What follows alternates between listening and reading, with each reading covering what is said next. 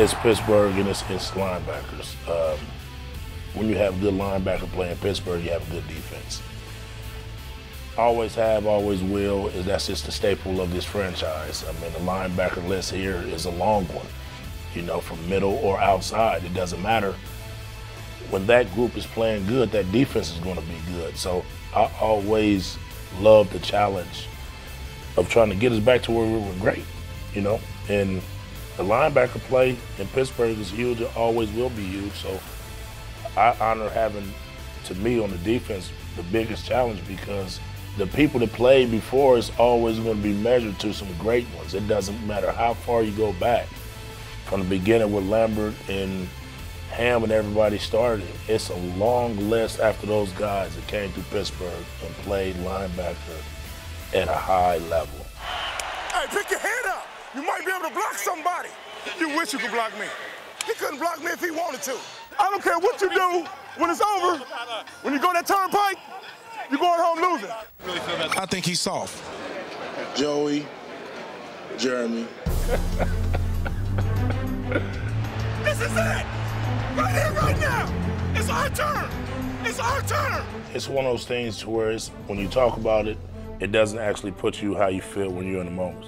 But when you actually get there, how long it takes, sitting out there warming up seems like forever to open the kickoff. I've never seen so many cameras go off at one time. And I, that picture and that feeling right then, you know, like, wow, this is this is the Super Bowl. All other stuff before that is just anticipation. But when that ball was kicked off and the cameras went crazy, then you knew you were in the uh, the biggest game of your life. It's a it's a certain achievement in your life to where you feel like I could sit amongst some great guys that might have four or five championships, and that's good for them. But I have one.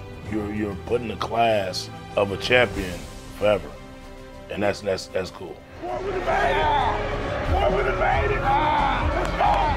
Let's go. It's funny. It's, it's good that James allows me to still be part of the game in that aspect, how we mess around and get ourselves fired up for the game. Because he knows, like me, every day I go out there and think I'm about to play, and I know it's over. But just for that brief time in pregame warm-up, I get to get that energy back again.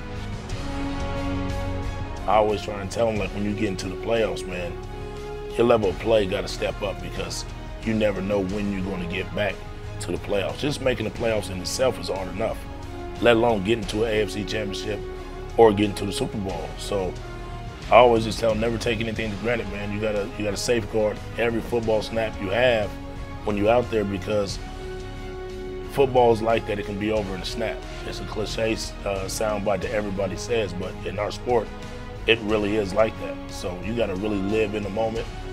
And when we're hot and when they're playing good football, I just try and tell them, don't overthink it, man. Live in the moment. I mean, enjoy it. Uh, try and pass on the things that I did to prepare myself to get ready.